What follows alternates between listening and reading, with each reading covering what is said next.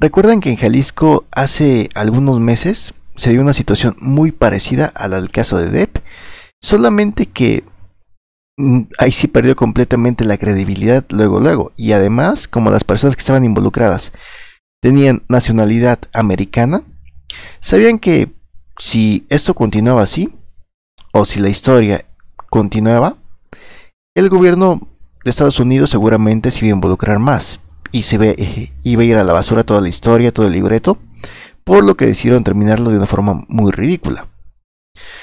Y cuando digo muy ridícula, me refiero a que, en teoría, en el caso de Depp, lo que se dice o lo que la gente cree que va a pasar es que van a encontrar a los culpables o los implicados. Aunque ya después de tres meses, es más, llevamos rumbo a los cuatro meses, no ha pasado nada de eso. Sin embargo, la gente se imagina que si se encontrara la verdad, habría personas implicadas y por ende gente que pagaría por eso que hizo. Sin embargo, ¿qué pasó en el caso de Jalisco? Se supone que las personas que en ese momento fueron privadas de su libertad reconocieron plenamente a quienes eran los responsables, quiénes eran los culpables, reconocieron en qué lugar se encontraban en qué lugar habitan, quiénes son, y esas pruebas las brindaron a la fiscalía. Y te puedo preguntar, ok, ¿qué pasó? ¿Se desarticuló el cártel que opera en esa parte de Jalisco? ¿La policía terminó con él o qué?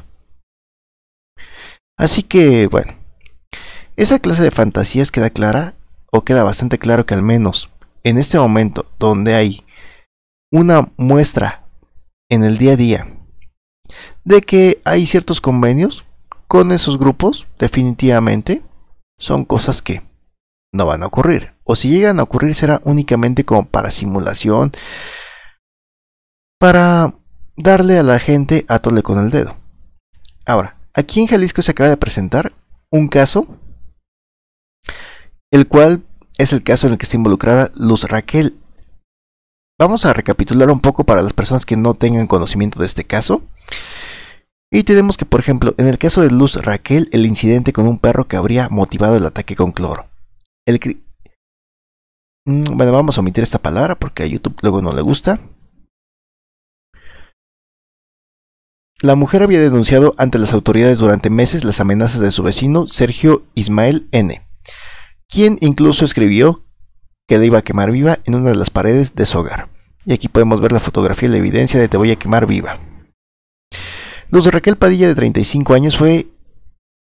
Bueno, le quitaron la vida el pasado sábado en un parque de la colonia Arcos del municipio de Zapopan, en la zona metropolitana de Guadalajara, la tercera ciudad más poblada de México, presuntamente por un vecino a quien, de acuerdo con las versiones, le molestaban los ruidos que hacía su hijo cuando sufría crisis por el autismo que padece.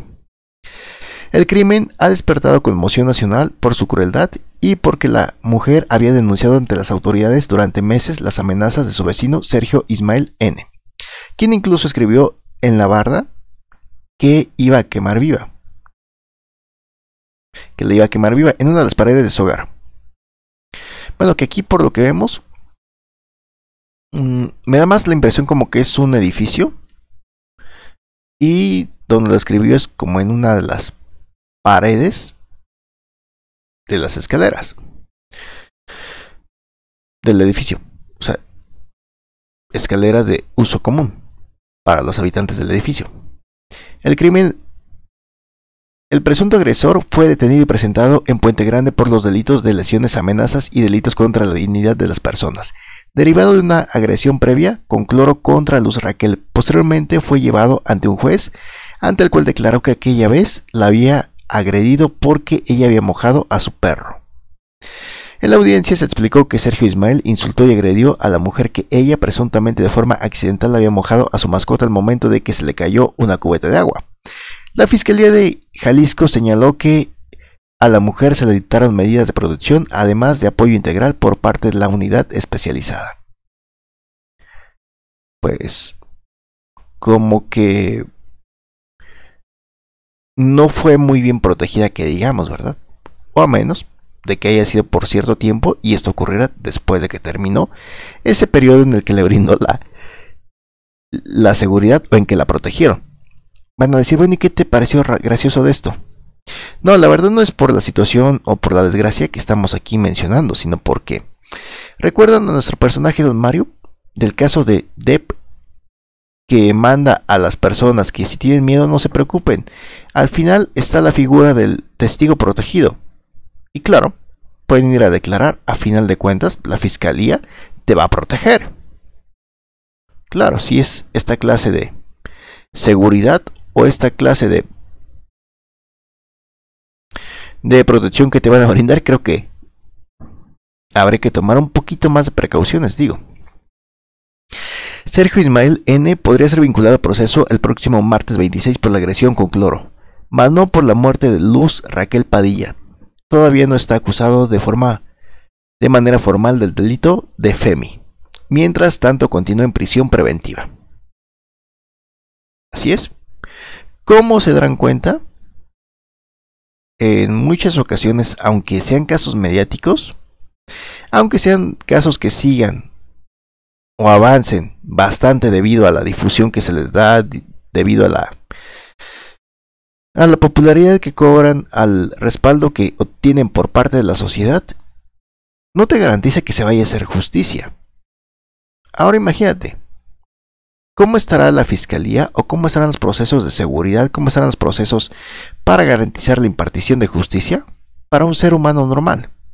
Es decir, para un ser humano que presenta simplemente su su denuncia así, sin todo el apoyo, sin todo el escándalo mediático, ¿cómo será? Entonces, él y la víctima eran vecinos, pero tenían una relación conflictiva. Los problemas entre ambos podían suscitarse por cualquier motivo, ya fuera la música a alto volumen o las crisis del hijo de Raquel Padilla Ah, ok, aquí está la cuestión de que el hijo de Raquel Padilla padecía autismo, por lo cual llegaba a tener crisis, y eso es lo que también desataba los problemas. Aparte de que anteriormente se habían peleado porque había mojado a su perrito de manera accidental. Bueno, según lo que aquí tenemos de información. La mañana del jueves, durante su conferencia de prensa diaria, el presidente Andrés Manuel López Obrador responsabilizó el proceso de individualización que se impuso, que se impulsó en el periodo neoliberal. Ah, ok. Mm. Este, pues bueno, no sé eso de qué forma podría ayudar o qué utilidad tendría que un presidente. Pero bueno, son de los años que causó la política, de los daños que causó la política neoliberal que no se reflejan en lo económico, incluso en lo material.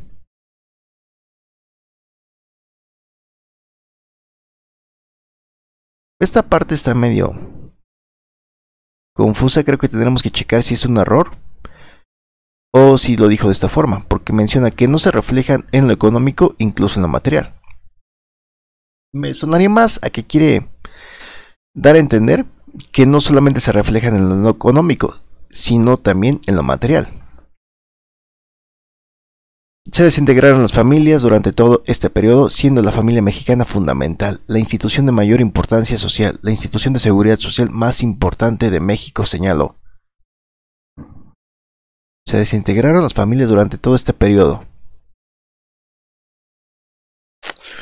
Pero bueno, hablando específicamente de este caso, y si le comentaron al presidente de este caso, de este proceso, esto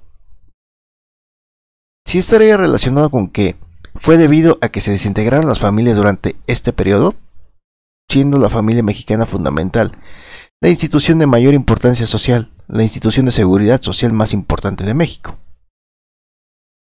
Ah, ok. Por eso es la problemática que hubo entre los vecinos, ¿verdad? Sí. Oh. Bueno, supongo que por algo es presidente, pues supongo que por algo es el ser que está en la cima de la cadena alimenticia, ¿no? El mismo día, Luz Raquel Padilla Gutiérrez fue despedida en una misa de cuerpo presente oficiada por el sacerdote Juan Rubio de la Basílica de Nuestra Señora de Zapopan, Jalisco. Al evento asistieron sus familiares, amistades e integrantes de la colectiva Yo Cuido México, a la cual ella pertenecía. Ese amor que dedicaste toda tu vida a tu hijo, a tu familia, a tu hermana, a tu madre, a todos los que estamos alrededor tuyo y esa enseñanza nos la vamos a llevar como compromiso de seguir contigo, con esa luz porque tú nos vas a guiar, eres la luz de nuestro camino. Tenemos que luchar por México, por todos los que vivimos en esta, en esta sociedad que debe ser igualitaria. Bueno, estas fueron las palabras de una conocida de Luz Raquel al finalizar la ceremonia, una conocida de nombre Acela Mura. Eh, las, bueno, vamos a cambiar esta palabra por que este evento, en el cual pierde la vida, refleja la ola de violencia machista en México, donde le quitan la vida a las mujeres en una cantidad de 10 mujeres al día.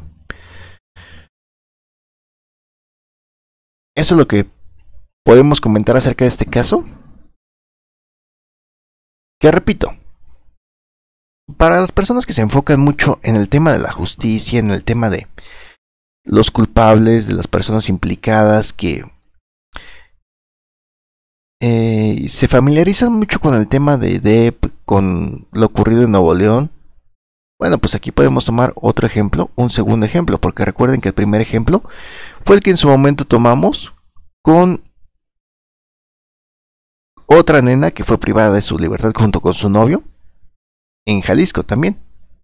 ¿Lo recuerdan? Que incluso nuestro rufián bueno hizo todo el seguimiento, apoyó en lo que pudo para lograr el rescate, para lograr que todo llegara a buen término. Y que a final de cuentas, pues nadie se creyó eso, ¿verdad? Y que no pudieron continuar con toda la obra como quisieran, debido a que tenían nacionalidad americana. Y en caso de que se llegara a meter el gobierno de Estados Unidos, ahí sí iba a haber un pequeñísimo gran problema. Así que mejor dijeron, a ver, eh, dejamos esto aquí, aquí no pasó nada, bueno, sí pasó, incluso se supone que la fiscalía sabe quiénes fueron, porque ya fueron a declarar, darle información, lo reconocieron plenamente, también indicaron en qué condominio viven, las mañas que tienen, y qué pasó. Pues no, nada, ¿qué quieres que pase? ¿Ok? Entonces, ¿Qué les parece esta clase de historias? ¿A poco no son bien interesantes las historias que ocurren aquí, en México? No solamente en Nuevo León, sino también en la parte de Jalisco. Esto es importante ubicarlo porque